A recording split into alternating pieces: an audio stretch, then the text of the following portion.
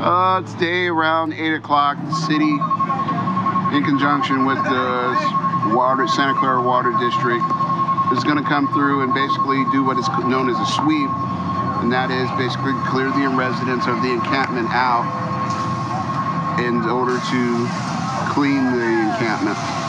The difference between this sweep and other ones is this encampment won't be able to come back and be inhabited by the residents who are being evicted, for lack of a better word. So now what?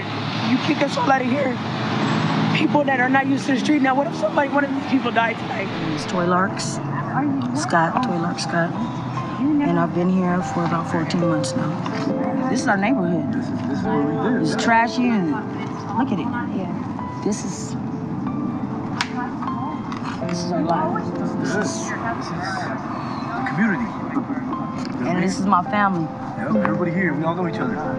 Say good hi. We may not like each other, Yeah. but we have disputes, but we This settle is our house. peacefully, you know? You know, there was no lights, no sirens, no nothing. They waited here, rode off, ran along, before they rode off. Sister Nelson dead, yeah, knew he was dead. Dead before he got to the truck. Give a fuck. They don't care. And some of these places, like family and women's shelters, they're full all year round. And the, ci- and the county and the city still can't meet the needs of its most vulnerable residents. the support i don't really have any family or anything so i mean i do but my parents use and they live in their car and they don't they're selfish and they don't care about anybody but themselves you know and so i kind of like have to fend for myself you know I actually told them, you can't do that. Be tearing up the tents.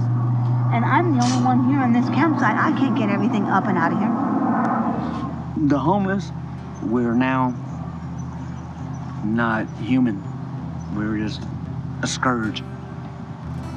That's how I feel. I mean, it's hard. A little later. We're trying to, we're all trying to get ahead in life and trying to do things right, but with stuff like this, the, when it happens, it tears us down.